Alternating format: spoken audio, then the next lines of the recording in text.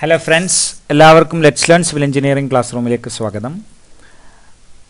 ഇന്ന് നമ്മൾ daily practice ക്വസ്റ്റ്യനിൽ നോക്കാൻ പോകുന്നത് കൂടുതലായിട്ടും ജിയോ ടെക്നിക്കൽ എഞ്ചിനീയറിംഗുമായിട്ട് ബന്ധപ്പെട്ടുള്ള ക്വസ്റ്റ്യൻസ് ആണ്. ആദ്യത്തെ ക്വസ്റ്റ്യൻ മാത്രം ഹൈവേ എഞ്ചിനീയറിംഗുമായിട്ട് റിലേറ്റ് ചെയ്താണ് നമുക്ക് ഒന്നാമത്തെ ചോദ്യത്തിലോട്ട് പോകാം. First question the maximum design gradient for vertical profile of a roadies road construct ചെയ്യുമ്പോൾ അതിന്റെ വെർട്ടിക്കൽ പ്രൊഫൈലിൽ നമ്മൾ കൊടുക്കുന്ന മാക്സിമം ഡിസൈൻ ഗ്രേഡിയന്റിന് എന്താണ് പേര് പറയാം? അപ്പോൾ ഇതിന്റെ ആൻസർ എന്ന് പറയുന്നത് റൂളിംഗ് ഗ്രേഡിയന്റ് ആണ്. എന്താണ് ആക്ച്വലി ഈ റൂളിംഗ് ഗ്രേഡിയന്റ് റൂളിംഗ് ഗ്രേഡിയന്റ് എന്ന് പറഞ്ഞാൽ maximum gradient to a track നമ്മൾ റോഡ് അല്ലെങ്കിൽ റെയിൽവേ കൺസ്ട്രക്ട് ചെയ്യുമ്പോൾ ആ റെയിൽവേയിൽ ഡിസൈൻ ചെയ്യുന്ന സമയത്ത് നമ്മൾ ഉപയോഗിക്കുന്ന സ്ലോപ്പ് അതിനെയാണ് എന്ത് പറയുക റൂളിംഗ് ഗ്രേഡിയന്റ് എന്ന് പറയാം. റോഡ് അലൈൻ ചെയ്യുന്ന സമയത്ത് നമ്മൾ ഡിസൈൻ ചെയ്യാൻ വേണ്ടി ഉപയോഗിക്കുന്ന ഗ്രേഡിയന്റ് ആണ് റൂളിംഗ് ഗ്രേഡിയന്റ് സാധാരണഗതിയിലുള്ള റോഡുകൾക്കെല്ലാം നമ്മൾ റൂളിംഗ് ഗ്രേഡിയന്റ് ആണ് ഉപയോഗിക്കുക. അപ്പോൾ റൂളിംഗ് ഗ്രേഡിയന്റിന് ഡിസൈൻ ഗ്രേഡിയന്റ് എന്നും ഒരു പേരുണ്ട്. അതാണ് ഇവിടെ മുകളിൽ ചോദിച്ചിട്ടുള്ള ക്വസ്റ്റ്യൻ നിങ്ങൾക്ക് വായിച്ചറിയാം. അത് മാക്സിമം ഡിസൈൻ ഗ്രേഡിയന്റ് അപ്പോൾ ഡിസൈൻ ഗ്രേഡിയന്റ് എന്ന് പറയുന്നത് യഥാർത്ഥത്തിൽ എന്താണ്? റൂളിംഗ് ഗ്രേഡിയന്റ് ആണ്.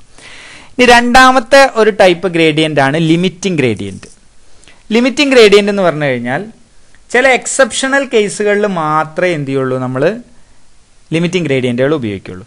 ലിമിറ്റിംഗ് ഗ്രേഡിയന്റുകളുടെ പ്രത്യേകത അത് റൂളിംഗ് ഗ്രേഡിയന്റുകളെക്കാൾ സ്റ്റീപ്പർ ആയിരിക്കും.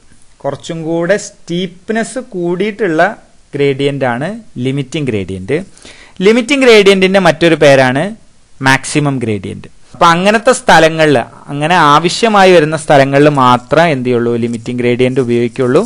സാധാരണ സ്ഥലങ്ങളിൽ റൂളിംഗ് ഗ്രേഡിയന്റ് ആണ് ഉപയോഗിക്കുക. ലിമിറ്റിംഗ് ഗ്രേഡിയന്റിന് മറ്റൊരു പേരാണ് മാക്സിമം ഗ്രേഡിയന്റ് ഇനി മൂന്നാമത്തത് എക്സെപ്ഷണൽ ഗ്രേഡിയന്റ് ആണ്.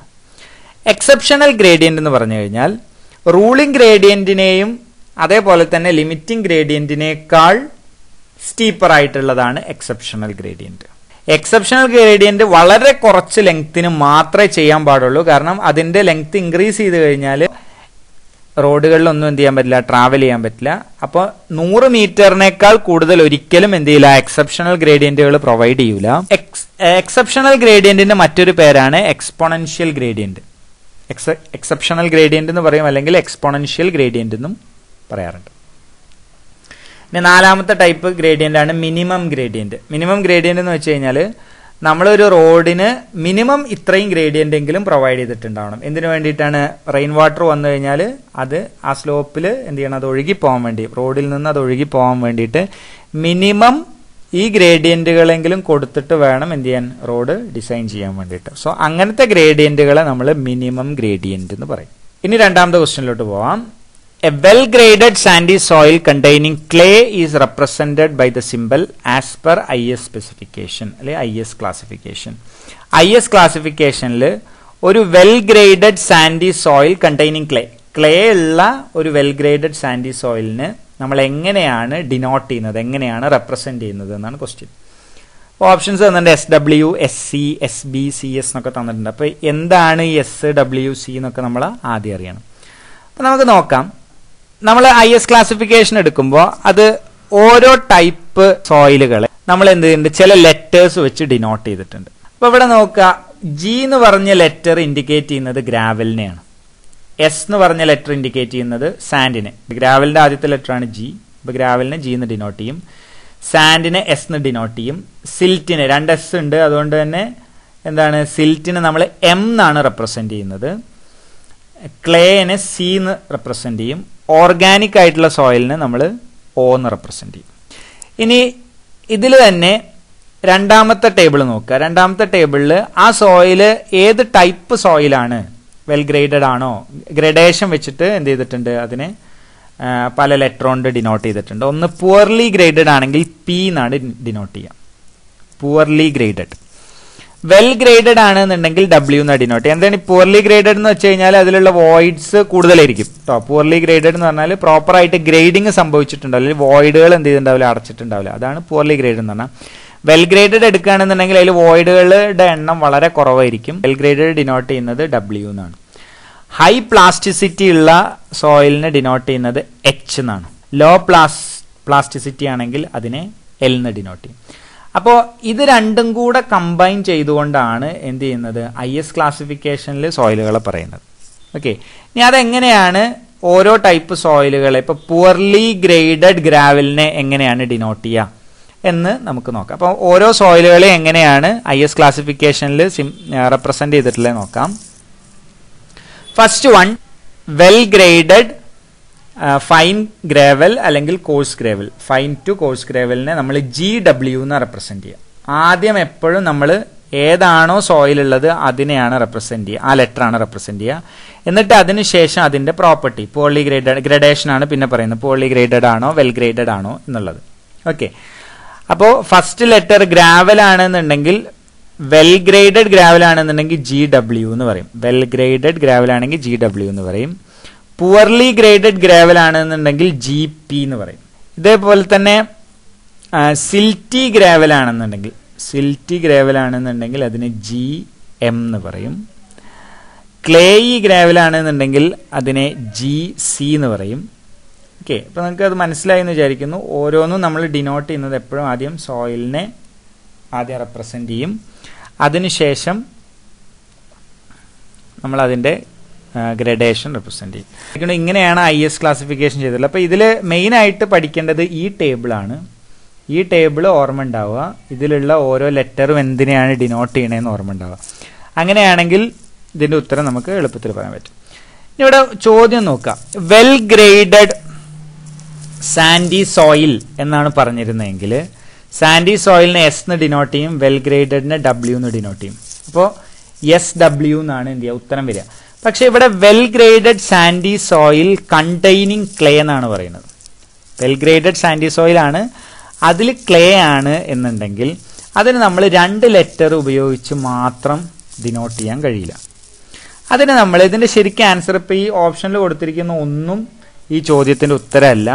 ഈ ചോദ്യം യഥാർത്ഥത്തിൽ പി എസ് സി ഡിലീറ്റ് ചെയ്തിട്ടുള്ള ഒരു ക്വസ്റ്റ്യൻ ആണ്. കാരണം ഇതിന്റെ ഉത്തരം ഇതിൽ ഇല്ലാത്തതുകൊണ്ട് അപ്പോൾ ഒരു well graded sandy soil which contains clay clay ഉണ്ടെങ്കിൽ അതിനെ ഡിനോട്ട് ചെയ്യുന്നത് S W well graded sandy soil അതിൽ ക്ലേ ഉള്ളത് കൊണ്ട് തന്നെ ക്ലേ ഈ സാൻഡ് എന്ന് പറയും. അപ്പൊ എസ് ഡബ്ല്യു എസ് സി എന്നാണ് എന്ത് ചെയ്യേണ്ടത്? ഇതിനെ ഡിനോട്ട് ചെയ്യേണ്ടത്. ശരിക്കും മനസ്സിലാക്കുക. വെറുതെ വെൽ ഗ്രേഡഡ് സാൻഡി സോയിൽ എന്നാണ് ക്വസ്റ്റ്യൻ എന്നുണ്ടെങ്കിൽ നമുക്ക് എസ് ഡബ്ല്യു എന്ന് എഴുതാം. അല്ലെങ്കിൽ ഒരു ക്ലേയി എസ് സി എന്ന് പറഞ്ഞാൽ നമ്മൾ എങ്ങനെ പറയാ? എസ് സി എന്ന് പറഞ്ഞാൽ ക്ലേയി സാൻഡ് ആണ്. ക്ലേയി സാൻഡ് ആണ് എന്നുണ്ടെങ്കിൽ നമുക്ക് എസ് സി എന്ന് പറയാം. ഓക്കെ എസ് ബി എന്ന് പറയുന്ന ഒരു ഒന്ന് എന്തില്ല നമുക്കിതിൽ കാണാൻ പറ്റില്ല കാരണം ബി ഒന്നിനെയും ഡിനോട്ട് ചെയ്യുന്നില്ല. സി എസ് എന്ന് പറഞ്ഞാൽ ആദ്യത്തേത് ക്ലേ എസ് എന്ന് പറഞ്ഞുള്ള ഒരു ഡിനോട്ടിങ് സി എസ് എന്ന് പറഞ്ഞത് നമുക്ക് എന്ത് ചെയ്യാൻ പറ്റില്ല ഇതിൽ കാണാൻ പറ്റില്ല. എസ് സി ആണെന്നുണ്ടെങ്കിൽ ഇതിലുണ്ട് സി എസ് എന്ന് പറഞ്ഞ ഒന്നും ഇതിലില്ല. അപ്പോൾ ഈ രണ്ട് ഓപ്ഷൻ എന്തായാലും ഉപയോഗിക്കാൻ പറ്റൂല.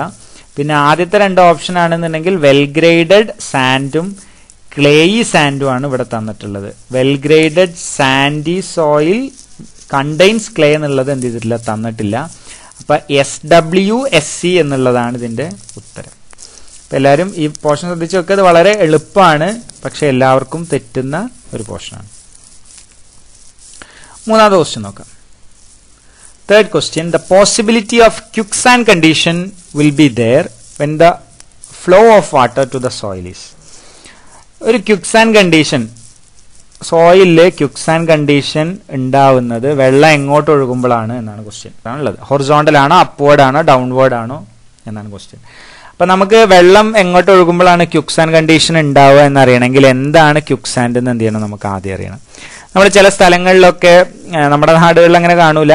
എന്നാലും പുറത്തെ രാജ്യങ്ങളിലൊക്കെ പോയി കഴിഞ്ഞാൽ നമുക്ക് ഇങ്ങനെ ഒരു ബോർഡ് കാണാൻ പറ്റും. ചില സ്ഥലങ്ങളിൽ ക്യുക്ക് സാൻഡ് എന്ന് എഴുതി വെച്ചിട്ടുണ്ടാകും ക്യുക്ക് സാൻഡ് കണ്ടീഷൻ. ഇപ്പൊ ഇതിൽ നിന്ന് ഈ ഒരു ഈ ഒരു ചിത്രത്തിൽ നിന്ന് നിങ്ങൾക്ക് മനസ്സിലാവും. ക്യുക്ക് സാൻഡ് എന്ന് പറഞ്ഞാൽ ഒരു ചതുപ്പ് പോലെയുള്ള സ്ഥലത്തിനെയാണ് എന്ത് പറയാ ശരിക്കും ക്യുക്ക് സാൻഡ് എന്ന് പറയാം. അല്ലെങ്കിൽ നമുക്കറിയാം നമ്മൾ കടൽ തീരത്തൊക്കെ പോയി കഴിഞ്ഞാൽ വെള്ളം വന്ന് അടിച്ചു കഴിഞ്ഞ് വെള്ളം തിരിച്ചിറങ്ങി പോകുമ്പോൾ നമ്മുടെ കാലിന് അടിയിലുള്ള മണ്ണ് എന്ത് ചെയ്യും? അത് വലിച്ചുകൊണ്ട് പോകും. അല്ലേ? ആ മണ്ണ് വലിച്ചുകൊണ്ട് പോകാനുള്ള കാരണം എന്താണ്? നമ്മളുടെ കാലിനടിയിൽ നിൽക്കുന്ന മണ്ണ് തീരെ എന്തില്ല അതിന് കൊഹിഷൻ ഇല്ലാത്തതുകൊണ്ടാണ്. കൊഹിഷൻ എന്ന് പറഞ്ഞാൽ ഒട്ടിപ്പിടിക്കുക. സോയിലുകൾ തമ്മിൽ ഒട്ടിപ്പിടിച്ചു കഴിഞ്ഞാൽ എന്ത് ചെയ്യില്ല? വെള്ളം വന്നടിച്ചാലും പെട്ടെന്ന് എന്ത് ചെയ്യില്ല? വെള്ളം സോയിൽ അതിന്റെ കൂടെ പോവില്ല. അല്ലേ? അപ്പം നമുക്കറിയാം ക്ലേ ആണ് ഏറ്റവും കൊഹിഷൻ ലെസ് ആയിട്ടുള്ള സോറി കൊഹിഷൻ ഉള്ള സോയിൽ ക്ലേ ആണ്. കൊഹിഷൻ ലെസ് സോയിലാണ് നമ്മുടെ സാൻഡൊക്കെ കൊഹിഷൻ ലെസ് സോയിലാണ് അപ്പോൾ ക്യുക്സാൻ കണ്ടീഷൻ എന്ന് പറഞ്ഞു കഴിഞ്ഞാൽ വെള്ളം മുകളിലോട്ട് ഒഴുകുന്നത് കാരണം പ്രത്യേകിച്ച് സാൻഡിലോ അല്ലെങ്കിൽ വളരെ ഫൈനായിട്ടുള്ള സോയിലുകളിലൊക്കെ വെള്ളം മുകളിലോട്ട് ഒഴുകുമ്പോൾ ആ പോർഷൻ കിടന്ന് അജിറ്റേറ്റ് ചെയ്യും അജിറ്റേറ്റ് ചെയ്യുക എന്ന് പറഞ്ഞാൽ ഇളകി മറിയും. ഓക്കെ പ്രത്യേകിച്ച് കൊഹിഷൻലെസ് സോയിലൊക്കെ ആണെന്നുണ്ടെങ്കിൽ മുകളിലേക്ക് എന്ത് ചെയ്യും? സീപ്പേജ് സംഭവിക്കും. അങ്ങനത്തെ കണ്ടീഷനെയാണ് ക്യുക്സാൻ കണ്ടീഷൻ എന്ന് പറയാം. The vertical upward seepage flow causes floating condition of particle in cohesionless soil such as sand and fine gravel അതിനുള്ളിലൂടെ വെള്ളം കടന്നു വന്നാൽ എന്താ സംഭവിക്കുക? ഈ അടുത്ത് കൂടി ചേർന്ന് നിൽക്കുന്ന സോയിലിന്റെ ബോണ്ടുകൾ എന്ത് ചെയ്ത് സ്വാഭാവികമായിട്ട് ബ്രേക്ക് ചെയ്യും. അങ്ങനെ എന്ത് ചെയ്യും? അത് ലൂസ് സോയിലായിട്ട് മാറും. ഓക്കെ അപ്പൊ വെള്ളം സീപ്പ് ചെയ്ത് ഇറങ്ങി വന്നു കഴിഞ്ഞാൽ സോയിൽ എന്താവും? ലൂസ് സോയിലാവും അങ്ങനെ ലൂസ് ആയി കഴിഞ്ഞാൽ സ്വാഭാവികമായിട്ട് ഇപ്പൊ ഈ ഒരു എന്തുകൊണ്ടാണ് ഇതിന് ഇത്രയും പ്രാധാന്യം വരുന്നതെന്ന് വെച്ച് കഴിഞ്ഞാൽ വെള്ളം നമ്മുടെ ഡാമുകളൊക്കെ കൺസിഡർ ചെയ്യുമ്പോൾ ഡാമിന്റെ ഒക്കെ അടിയിലൂടെ എന്ത് ചെയ്യും? വെള്ളം പോവും. അപ്പോൾ വെള്ളം അടിയിലൂടെ സീപ്പ് ചെയ്ത് പോകുമ്പോൾ അവിടുത്തെ സോയിൽ എന്ത് ചെയ്യും? ഇതേപോലെ തന്നെ ഈ ക്യുക്സാൻ കണ്ടീഷന് വിധേയമാവും ക്യുക്സാൻ കണ്ടീഷൻ സംഭവിച്ചു കഴിഞ്ഞാൽ അവിടുത്തെ സോയിൽ ലൂസാവും അവിടുത്തെ ഷിയർ സ്ട്രെങ്ത് ആ സോയിലിന്റെ ഷിയർ സ്ട്രെങ്ത് നഷ്ടപ്പെട്ടു പോകും. ഷിയർ സ്ട്രെങ്ത് നഷ്ടപ്പെട്ടു കഴിഞ്ഞാൽ സ്വാഭാവികമായിട്ടും അതിന്റെ മുകളിൽ നിൽക്കുന്നത് എത്ര വലിയ സ്ട്രക്ചർ ആണെന്നുണ്ടെങ്കിലും അത് മറിഞ്ഞു വീഴുകയോ അതല്ലെങ്കിൽ ഇരുന്ന് പോവുകയോ ഒക്കെ ചെയ്യും. ഓക്കെ. അപ്പൊ ആൻഡ് കണ്ടീഷൻ ഒരിക്കലും എന്ത് ചെയ്യാൻ പാടില്ല. സാധാരണ നമ്മൾ ഉണ്ടാക്കുന്ന സ്ട്രക്ചേഴ്സിന്റെ താഴത്തൊന്നും സംഭവിക്കാൻ പാടില്ല. നമ്മളിപ്പോൾ ഒരു ഡാം കൺസ്ട്രക്ട് ചെയ്യുകയാണെന്നുണ്ടെങ്കിൽ ഇപ്പൊ ഇവിടെ നിങ്ങൾ ഇതൊരു ഈ ഫിഗറിൽ ഒരു ഡാം ഇവിടെ ഒരു ഡാം ഉണ്ടെന്ന് വിചാരിച്ചു. ഇതിന്റെ അപ്സ്ട്രീം സൈഡിൽ എന്ത് ചെയ്യും? വെള്ളം കൂടി നിൽക്കുന്നുണ്ടാവും. അപ്പോൾ ഈ അപ്സ്ട്രീം സൈഡിൽ വെള്ളം കൂടുതൽ നിൽക്കുന്ന കാരണം ഇവിടെ എന്താണ്? പ്രഷർ കൂടുതലാണ്. ഇവിടെ പ്രഷർ കുറവാണ്. അപ്പോൾ സ്വാഭാവികമായിട്ടും വെള്ളം എന്താ സംഭവിക്കുക? ഏതൊരു സാധനം ഹയർ കോൺസെൻട്രേഷൻ ലോവർ കോൺസെൻട്രേഷനിലോട്ട് എന്ത് ചെയ്യും? ട്രാവൽ ചെയ്യും. അപ്പോൾ ഇവിടെ ഒരു ബാരിയർ ഉള്ളതുകൊണ്ട് ഡാം എന്ന് പറഞ്ഞൊരു ബാരിയർ ഇവിടെ ഉള്ളതുകൊണ്ട് വെള്ളം എന്ത് ചെയ്യില്ല ഇതിലൂടെ കടന്നു പോകില്ല മറിച്ച് എന്ത് ചെയ്യും? അതിന് കടന്നു പോകാൻ സാധിക്കുന്ന ഒരു സ്ഥലം എന്ന് പറയുന്നത് മണ്ണാണ്. അപ്പം മണ്ണിലൂടെ എന്ത് ചെയ്യും? വെള്ളം സീപ്പ് ചെയ്യാൻ തുടങ്ങും. വെള്ളം ഇങ്ങനെ സീപ്പ് ചെയ്ത് ഇതിന്റെ അടിയിലൂടെ എത്ര ഇതിന് ഫൗണ്ടേഷൻ കൊടുത്തിട്ടുണ്ടോ? ആ ഫൗണ്ടേഷന്റെ അടിയിലൂടെ വെള്ളം എന്ത് ചെയ്യും? ഇങ്ങോട്ട് സീപ്പ് ചെയ്യും. ഇങ്ങോട്ട് സീപ്പ് ചെയ്താൽ ഡൗൺ സ്ട്രീം സൈഡിലെത്തും അപ്പോൾ എന്താ സംഭവിക്കണേ? ഇതിന്റെ അടിയിലൂടെ വന്ന് അടിയിലൂടെ വന്നത് എന്ത് ചെയ്യും? മുകളിലേക്ക് ട്രാവൽ ചെയ്യും. മുകളിലോട്ട് ട്രാവൽ ചെയ്യുമ്പോൾ ഇവിടെ ഉണ്ടാവുന്ന സോയിൽ പാർട്ടിക്കിൾസ് മുഴുവൻ എന്ത് ചെയ്യും? ബോണ്ടുകൾ ബ്രേക്ക് ചെയ്തിട്ട് അതെന്ത് ചെയ്യും? മുകളിലോട്ട് ഒരു പ്രഷർ കൊടുത്ത് ഇതിനെ തള്ളും. തള്ളുമ്പം ആ മോൾ ഭാഗം എന്ത് ചെയ്യും? അജിറ്റേറ്റഡ് ആവും. അവിടെ ആകെ ഇളകി മറിയും. ഇളകി മറിഞ്ഞ് വെള്ളം എന്ത് ചെയ്യും? ഇതിലോട്ട് പുറത്തോട്ട് ഒഴുകും. ഇത് എന്താ സംഭവിക്കുക എന്ന് വെച്ച് കഴിഞ്ഞാൽ ഈ ക്യുക്സാൻ കണ്ടീഷൻ ഇപ്പൊ ഇവിടെ സംഭവിച്ചു. ഇവിടെ സംഭവിച്ചു കഴിഞ്ഞാൽ പിന്നെ പിന്നെ വീണ്ടും എന്ത് ചെയ്യാണ്? വെള്ളം അതിലൂടെ തന്നെ അവിടെ ഒരു പൈപ്പ് പോലെ ഫോം ചെയ്യും. അതിങ്ങനെ വെള്ളം ഇങ്ങനെ ട്രാവൽ ചെയ്തുകൊണ്ടേയിരിക്കും. അവസാനം ഈ പൈപ്പിന്റെ വലിപ്പം എന്ത് ചെയ്യും? കൂടിക്കൂടി വരും. അതിനെയാണ് പൈപ്പിംഗ് ആക്ഷൻ എന്ന് പറയാം. പൈപ്പിംഗ് എന്ന് പറയുന്നത് ഡാമിൽ ഉണ്ടാകുന്ന ഒരു ഡിഫക്റ്റ് ആണ്. മണ്ണിലൂടെ വെള്ളം സീപ്പ് ചെയ്തിട്ട് അവിടെ എന്ത് ചെയ്യുക? ഒരു പൈപ്പ് പോലെയായി മാറുക. അതിനെയാണ് പൈപ്പിംഗ് എന്ന് പറയാം. അപ്പോൾ എന്ത് ചെയ്യും? ഇത് അവസാനം ഇവിടെ മുഴുവൻ എന്ത് ചെയ്യും? ഈ സോയിൽ ലൂസായി അവസാനം ഈ ഡാമിന്റെ സ്റ്റെബിലിറ്റീനെ തന്നെ എന്ത് ചെയ്യും? അത് ബാധിക്കും. അപ്പോൾ ക്യുക്സാൻ കണ്ടീഷനിൽ വെള്ളത്തിന്റെ ഫ്ലോ എങ്ങനെ സംഭവിക്കുമ്പോഴാണെന്ന് വെച്ച് കഴിഞ്ഞാൽ അപ്പോഴായിട്ട് വെള്ളം വന്നു കഴിഞ്ഞാലാണ് ക്യുക്സാൻ കണ്ടീഷൻ സംഭവിക്കുന്നത്. ഇത് എല്ലാവർക്കും മനസ്സിലായി എന്ന് വിചാരിക്കുന്നു. അപ്പൊ ഇതിന്റെ ഉത്തരം the possibility of quicksand condition will be there when the flow of water to the soil is upward സോയിലിലേക്ക് മുകളിലോട്ട് വെള്ളം വരികയാണെന്നുണ്ടെങ്കിൽ ക്യുക്സാൻ കണ്ടീഷൻ സംഭവിക്കും. നാലാമത്തെ ക്വസ്റ്റ്യൻ നോക്കാം. The compaction of soil is measured in terms of compaction എന്തിലാണ് measure ചെയ്യുന്നത്? Compaction measure ചെയ്യുന്നത് dry ഡെൻസിറ്റിയുടെ ടേമിലാണ് ഡ്രൈ ഡെൻസിറ്റി എന്ന് പറഞ്ഞാൽ എല്ലാവർക്കും അറിയാം it is weight by volume weight divided by total വോളിയത്തിനാണ് എന്ത് പറയുക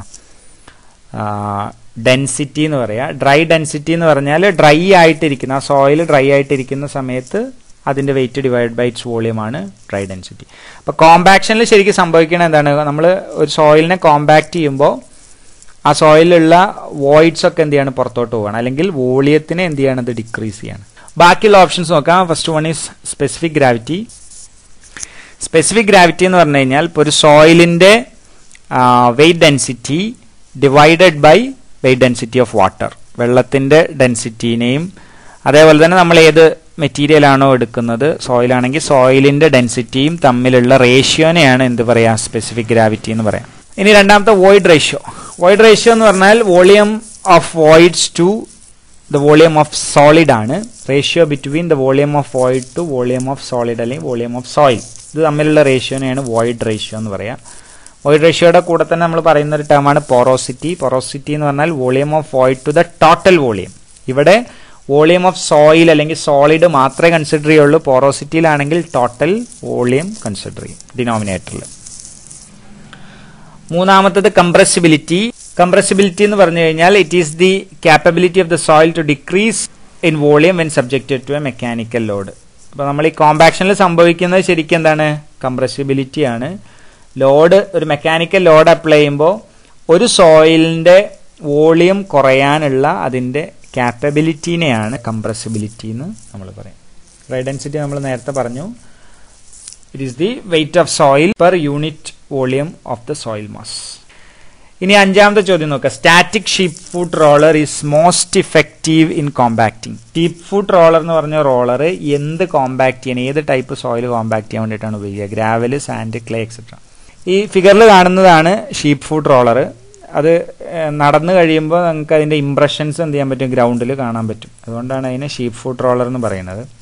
അപ്പം ഇങ്ങനത്തെ റോളറുകൾ നമ്മൾ സാധാരണ ഉപയോഗിക്കുന്നത് ക്ലേയിലാണ് കൊഹിഷൻ കൂടിയ സോയിലാണ് നമ്മൾ ഷീപ്പ് ഫുഡ് റോളേഴ്സ് ഉപയോഗിക്കുക. ഓക്കെ ഇത് കൂടാതെയും പല റോളേഴ്സും ഉണ്ട്.